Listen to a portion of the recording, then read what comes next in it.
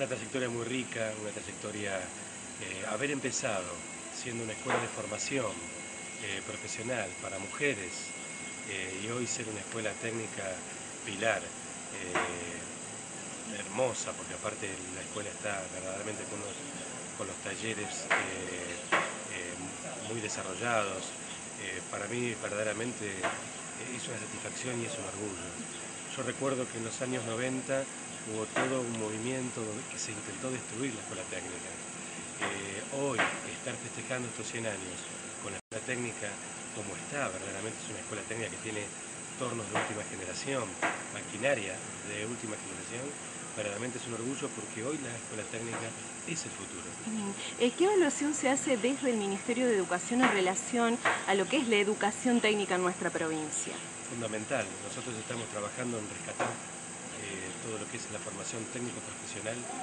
Nombramos una coordinadora técnica profesional justamente para, que se vea la importancia que tiene eh, en el desarrollo de la sociedad misma. Estamos firmando convenios en este momento con todas las cámaras eh, industriales, porque necesitamos que nuestros alumnos ingresen en las empresas en cuarto y en quinto año, en sexto año, eh, y terminen su formación con lo que es una práctica profesionalizante para que verdaderamente se conecten con la empresa y pueda su formación estar al servicio de lo que es el nuevo desarrollo productivo local.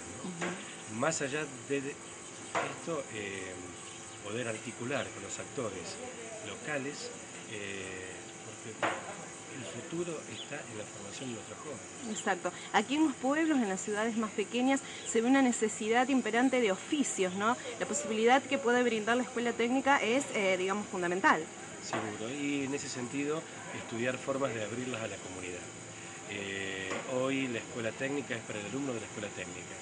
Debemos empezar a pensar en una escuela que tiene talleres y que está abierta a la comunidad, a, aquella persona que no pudo terminar su formación y que pueda encontrar en esta escuela algún trayecto curricular que le permita eh, mejorar una competencia y tener un oficio. ¿Es factible que todos los alumnos de las escuelas técnicas encuentren un ámbito laboral, que haya un ámbito laboral para cada uno?